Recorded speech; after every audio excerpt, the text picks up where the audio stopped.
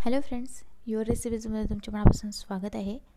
आज आपण जी रेसिपी बनवणार आहे त्या रेसिपीचे नाव आहे स्टफ व्हेजिटेबल बेसन चिला दिसायला जेवढेच अप्रतिम दिसते तसेच चवीलासुद्धा आहे. चला मग रेसिपी ब बघूया. तर इथं मी जे सामान घेतलेलं आहे मी तुम्हाला सांगते आहे. इथं मी पाच मिरच्या कापून घेतलेल्या आहेत ग्रीन चिलीज एक एक जो कांदा आहे तो बारीक कापून घेतलेला आहे. एक ढोबळी मिरची बारीक कापून घेतलेली आहे एक टोमॅटो बारीक कापून घेतलेला आहे आणि थोडंसं कोथिंबीर. हे सर्व मी वेजेस कापून घेतलेले आहेत. तर आता आपण मिश्रण तयार करून घेऊया.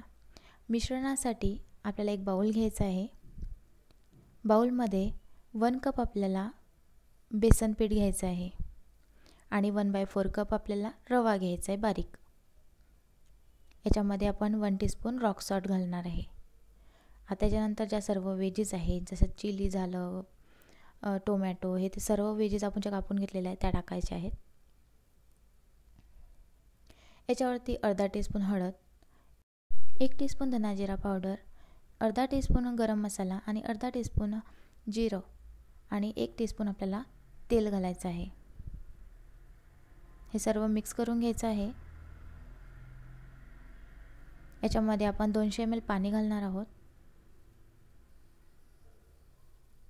मिक्स करून घ्यायचं आहे मस्त. दोनशे एम एल म्हणजे एका ग्लासाला थोडंसं काम पा पाणी कमी.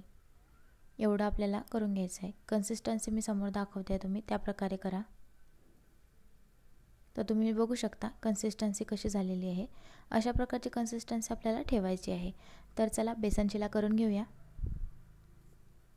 बेसन चिला करण्यासाठी मी इथं तवा घेतलेला आहे. त्याला तेल लावून घेतलेलं आहे. तवा मस्त गरम होऊ द्यायचा आहे. आणि त्यावरती आपल्याला हे जे बॅटर आहे ते अशा प्रकारे स्प्रेड करायचं आहे. इथं मी सर्व जे बॅटर आहे हे स्प्रेड करून घेते. आहे इथं आपला चिला मी व्यवस्थित टाकलेला आहे. त्याच्या कडेला आपण थोडंसं तेल सोडणार आहोत.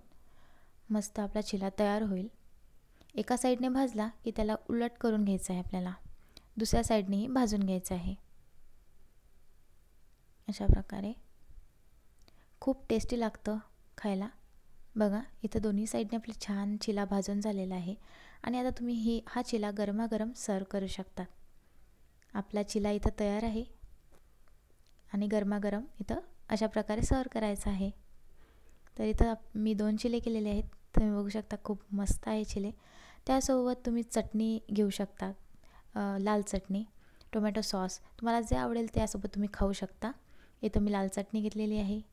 तर तुम्हाला जर ही रेसिपी माझी आवडली असेल तर रेसिपीला लाईक करा.